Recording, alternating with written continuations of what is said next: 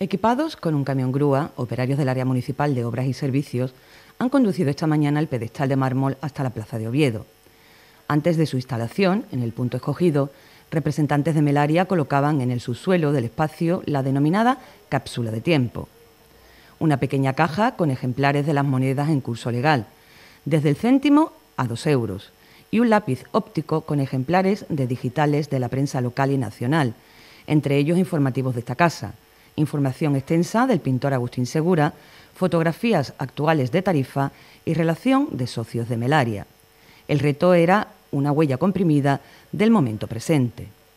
Eh, la cápsula del tiempo es una, se suele poner en todos los monumentos para que al cabo de los siglos, si hubiera que mover el monumento algo, para que hubiera un recuerdo del monumento, eso. Entonces, en este caso hemos metido que se suele meter unas monedas de las que están en curso sin usar, eh, un, conjunto de monedas y después normalmente se meten periódicos y documentos del, momento en el que se está poniendo el, el, monumento. Lo que pasa es que en este caso pues ya no hemos modernizado un poco y hemos metido un pen y en el PEN viene recogido pues toda mucha documentación de tarifa, el libro de Agustín Segura, el nombre de los socios de Melaria que son los que han contribuido a esto, eh, los periódicos digitales, las portadas de los periódicos digitales, bueno, documentación de tarifa, por si algún día em, dentro de algunos eso se mueve, pues nada, pues que haya constancia de lo que en el momento en que se puso. Tras la colocación del pedestal de mármol, tocará incorporar en una de sus caras el alto relieve en bronce del busto del pintor que ha realizado el colectivo a imagen y semejanza del que luciera en su antigua casa natal de la calle Agustín Segura. Se trata de una pieza en bronce realizada por Mariluz Muñoz que ha tomado como modelo la confeccionada por el autor Gabino Amaya con motivo del nombramiento de Agustín Segura como hijo predilecto de Tarifa. Eh, bueno, ahora se tienen que poner dos piezas de bronce que tenemos, una que es el, busto de, en perfil de, en alto relieve de Agustín Segura, que hice yo tomándolo de la placa de, conmemorativa de cuando lo hicieron hijo adoptivo y después eh, también otra plaquita, hablan de, de, Melaria, Agustín Segura y el año de nacimiento y es el ilustre pintor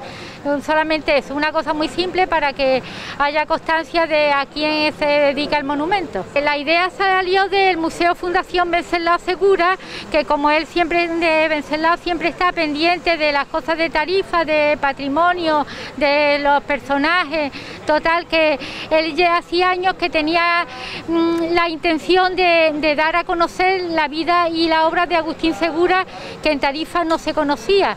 Entonces, eh, a partir de ahí pues empezaron a hacer, empezamos a hacer actos y un libro que hizo Venceslao, un montón de cosas y entre ellos quisimos hacer una placa para poner en su, casa natal. Lo que pasa es que la placa mm, no, al final no hubo convenio con en el ayuntamiento y no la pudimos hacer. Entonces pues surgió la idea de hacer este monumento y ahí viene la idea que ya en breve se inaugurará. En la ubicación definitiva del monumento y su propia instalación ha participado el Ayuntamiento de Tarifa que recogía la propuesta lanzada por el colectivo Melaria.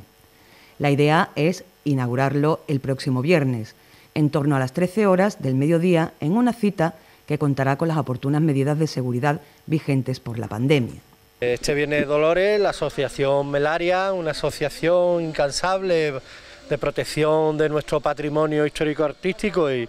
que está en esa efervescencia de la vida cultural, pues vio a bien dedicarle un monumento al insigne pintor don Agustín Segura,